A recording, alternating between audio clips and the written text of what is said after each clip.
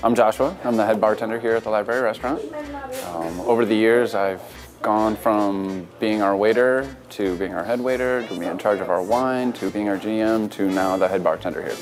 Um, over the years, I've actually kind of grown up here at the Library Restaurant. And the library itself has kind of taught me to be a more of a sophisticated man. When I started working here, I was 25, drinking Labatt Blue and Jack Daniels, you know, and then I started drinking wine and really loved it, and it just kind of created a monster. And I wanted to be sophisticated and wear, wear bow ties and drink great wine, and I really enjoy it.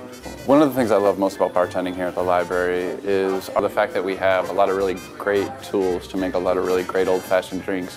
Really speaks near and dear to my heart as far as being a bartender. The things that we do here are on the upper echelon. The locals have supported the library since 1973 when we originally opened the doors. Uh, they've always been a big part of us being able to keep the doors open all year round.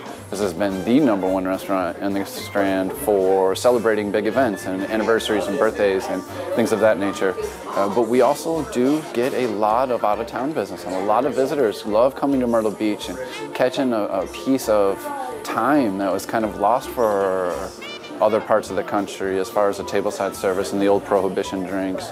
So whether you're local, you're from out of town, or you're just getting off of work and you want to come enjoy a martini or a great library mushrooms or some tips and shrimp, come on down, experience that what we do here is a little bit different than the rest of the restaurants in Myrtle Beach.